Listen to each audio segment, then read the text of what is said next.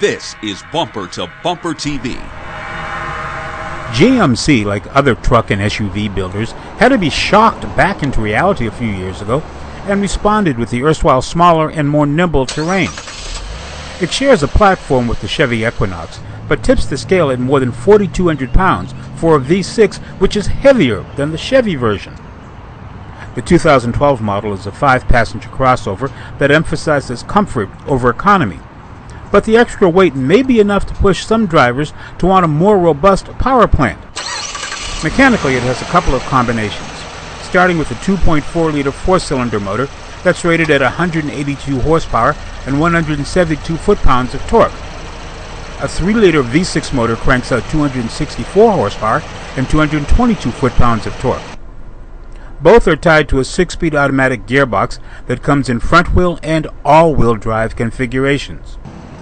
As we mentioned, comfort is emphasized in the seats and in the rest of the passenger compartment. Interior fit and finish is definitely upscale and plays well off of the new look center stack that General Motors has adopted. The test model also came with IntelliLink, a system that takes Bluetooth technology to the next level. In addition to hands-free calls, it can also work with other entertainment applications that come with smartphones like Pandora or Stitcher if you're looking to pull the weight of the world with it, then there might be some disappointment. Tow capacity, even on the V6, is limited to 3,500 pounds, the equivalent of a moderate sized boat and trailer.